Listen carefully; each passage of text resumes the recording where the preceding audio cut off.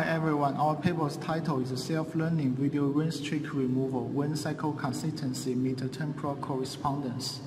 Our work aims to utilize both temporal correlation and the temporal consistency of video frames for self-supervised video rain streak removal.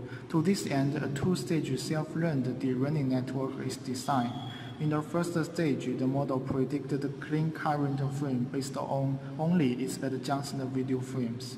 In the second stage, we include the information of the current frame and force the generated result to be close to adjacent aligned frames. As shown in the result, our method provides better result with less remaining rain streaks and abundant details.